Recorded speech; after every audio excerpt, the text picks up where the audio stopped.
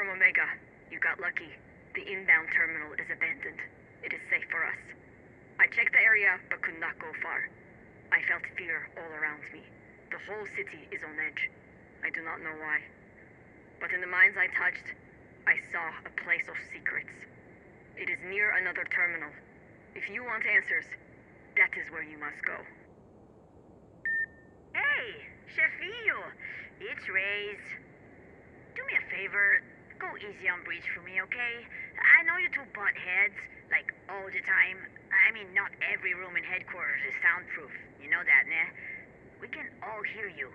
Look, everybody has bad habits, and those are really hard to break.